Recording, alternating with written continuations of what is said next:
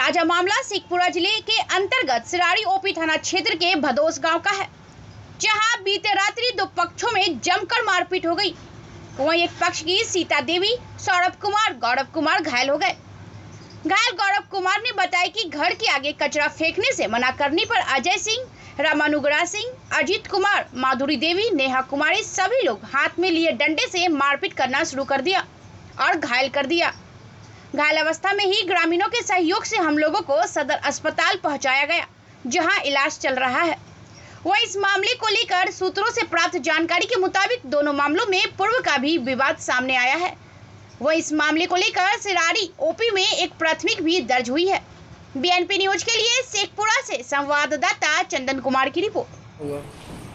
हमारे घर का मतलब सब कुछ बिकता था तो वही मतलब आज देखा जब बोला, उसके बाद मारपीट मतलब करने लगा जो। काम में था सब मतलब पहने हुए सब छीन छान। कौन मारपीट करने लगा? मतलब माधुरी देवी अजय सिंह रामनगुला सिंह अजीत कुमार नेहा कुमारी और उसका एक भौजाई अजय सिंह। क्या कचरा वगैरह फेंक देता था? हाँ। पहले से भी लड़ाई उसमें पहले से भी विवाद था मतलब केस किया है उसका ही मतलब बदला निकाल पहले किस बात को लेकर विवाद हुई? ऐसे है सब पर पूरे गाँव पर केस किया। क्या नाम हुआ आपका? गौरव कुमार। ऐसा एक घर कौन है कि जो बाकी है उससे। कितने लोग घायल हुए हैं?